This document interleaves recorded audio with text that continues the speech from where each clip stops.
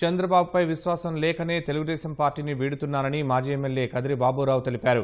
తాడేపల్లిలోని CM camp కార్యాలయంలో ముఖ్యమంత్రి జగన్ సమక్షంలో బాబురావు వైకాపాలో చేరారు. సీఎం జగన్ వైకాపా కండువా కప్పి బాబురావును పార్టీలోకి ఆహ్వానించారు. నందమూరి బాలకృష్ణ తనకు మంచి మిత్రుడని అందుకే ఇన్నాళ్ళు తెలుగుదేశం పార్టీలో కొనసాగానని బాబురావు తెలిపారు. నేను మొట్టమొదటిసారిగా ఓటేసింది తెలుగుదేశం పార్టీకి.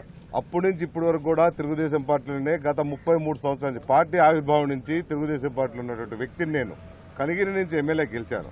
రెండు వేల పంతొమ్మిది ఎలక్షన్ వచ్చినప్పుడు నాకు ఎటువంటి విషయం చెప్పకుండా. దర్శి పంపించడం జరిగింది. నాకు వద్దా ఆ దర్శి అన్న కూడా నువ్వు కాపు కమ్యూనిటీ నుంచి ఉన్నావు. నువ్వు కూడా మన పార్టీ నుంచి ఎవరికో ఒకరికి వెళ్ళాలి కాబట్టి నువ్వు కంటెస్ట్ చేయమని నన్ను అడగడం జరిగింది. అక్కడ నిలబడింది కూడా మధ్యశెట్టి వేణు నా కజిన్ ఆయన మీద నిలబడనని కూడా చెప్పినా సరే నీకు ఎమ్మెల్సీ ఇస్తాను లేకపోతే ఓడినా సరే నీ కంచి కనిగిరి ఇన్ఛార్జిగా ఇస్తానని కూడా చెప్పి దాన్ని మాట దాటేయటం. ఏదైనా సరే ఏదో పదవులు ఆశించి కాదు. నాకు అది కావాలని కాదు ఇది కావాలి. ఏది అవసరం లేదు. చంద్రబాబు లాంటి ద్రోహి దగ్గర ఉండకూడదనే ఉద్దేశంతోనే ఈ రోజు నేను పార్టీ మారి వైఎస్ఆర్లోకి వస్తున్నా.